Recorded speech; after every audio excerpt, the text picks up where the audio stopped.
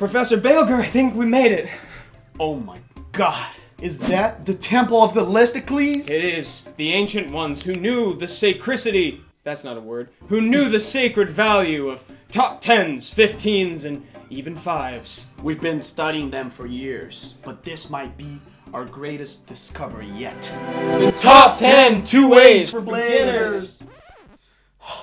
Professor Odin, the rumors were true. True? Yeah, true. we made it. We are at the temple. Finally. And this is the first statue. Oh my god. But what do they mean? Belladeon or Tatu? Seems like the people who made this didn't make up their minds. They weren't completely sure of who was the first person in this listicle. Well, obviously, Belladeon is an amazing monster, whether you two-way them or not. And if you do 2A them, you get 5% more on their heal and a little bit of attack bar. But I can understand them because Tatu now is super meta in GB12 speed teams and also in the new artifact dungeon. So this was a very wise civilization. It's just really strange that they couldn't make up their minds. Do you, do you feel that? Yes. Did we just gain knowledge? Is that a stack that I feel? I Like- feel like I could quantify it in a numerical value of 1 to 5, but not necessarily more than 5. ever. yes, less than five. Only less than 5. Less than five. I can't believe it. We're looking in different directions. I can't believe it. This statue seems like it went underappreciated for a really long time, and it will continue to be because it is only number 9 in this series of the temple. Exactly, but it's an extremely important monster back in the day to help players go through TOA hell, Right. This is Necro B12, and also some areas in Calderon and heals. and heals. Really? Vigor. Debatable Debatable. for new players. Like, are they are they sure? Listicles are. He's really good. You can use it in DB12. You can use it in RTA. Every guild content. This, all of this doesn't sound very beginner friendly, but if you get them, you'll use them. More power to you. Heal, Defense break.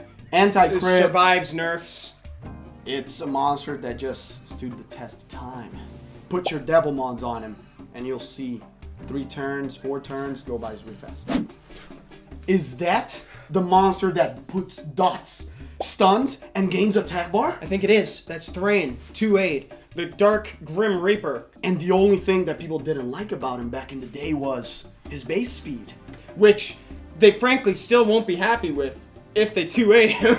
It doesn't change anything, big spoiler, but but you don't bring him for that. if you don't have a Rika, He's amazing because of the non-hitting dots. Mm-hmm. I broke character on that, but I feel like it was an important thing to get across. good point. It's like you don't proc Mihos in TOA with non-hitting dots. We're getting deeper into the temple now. That's the end of that thought. it is them. The Trickaroo. It's at this point that we'd like to remind you of the title. This is for beginners. So the beginners should just have this in the back of their minds. Yes, save every Inugami you get. Because when you're trying to make Trickaroo, we promise you you'll somehow be out of Inugamis and farm Garen for weeks. Long time, just like us in our expedition. Some people recommend you to go straight from GB12 to NB12, then go raids and then straight Trickaroo. So that's why it's here. I heard. Who rescued who? Now there's truly some wisdom to be gained from looking at this statue. Naomi, the Wind Martial Cat, Second Awakened, is an astonishing case, able to land critical hits Without crit rate. without crit rate. I heard that there was an old summoner that used her masterfully. Of course. His name was Evan. that was not in the script. You, I'm so getting you down. you just wanted to drag me. I heard he made some YouTube content that was bomb.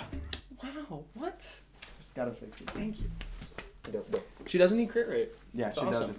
She was probably put here by the Listicles because of her usage in GB12, which is known to be a very beginner-friendly area.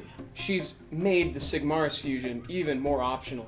And maybe someone else that's later on in this list contributed to that as well. Ah!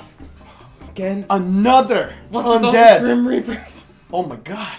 They weren't here in the past, but they just recently arrived. I mean, a thousand years ago or something. However many years this is this is is been going on. been going on.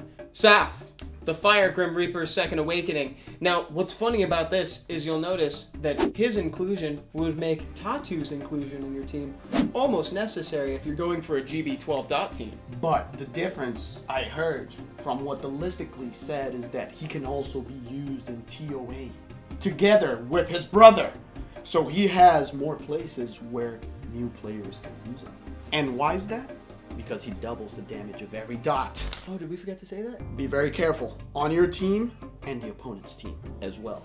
Speaking of TOA, Spectra, the Fire Griffin, the fastest monster in Summoner's War. Mm, 126 base speed. He can be used not only in TOA but in Dragon's B12. And why is that, you ask? Because he has AoE attack bar control, a speed debuff, and attack break, all on his third skill. Why did you use your normal voice?